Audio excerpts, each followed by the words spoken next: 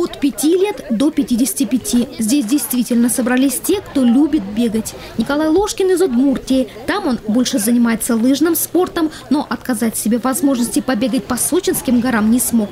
Сейчас старт будет и разминка перед стартом. Ну как вот разминочку вы сделали? Ой, тяжелая трасса, тяжелая. У нас полегче трассы в Удмуртии. Маленько. Тут тяжелая трасса. О своем участии в соревнованиях по горному бегу заявили более 200 человек. Это представители Удмуртии, Мариэл, Ставропольского края, Омской и Ивановской областей. Сегодня спортсмены бежали вверх по дороге на Орлиные скалы и обратно. У старших дистанция 3600 метров, у младших 450 метров вверх и 450 вниз. Десятилетней Софии Сосниной от старта до финиша понадобилось 10 минут 48 секунд. Я первый раз на Колобке выиграла, мне понравилось, и я стала заниматься бегом. В Сочи у нас тут тепло, а дома холодно.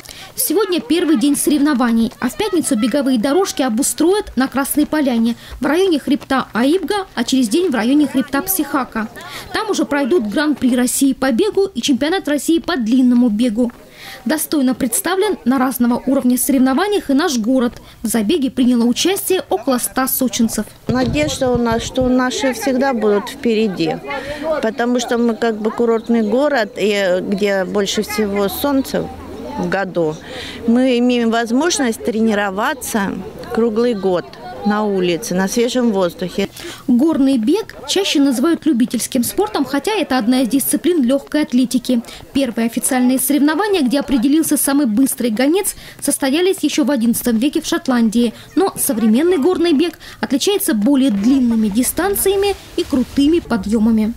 Елена Овсецина, Борис Осин, телекомпания «ФКТ».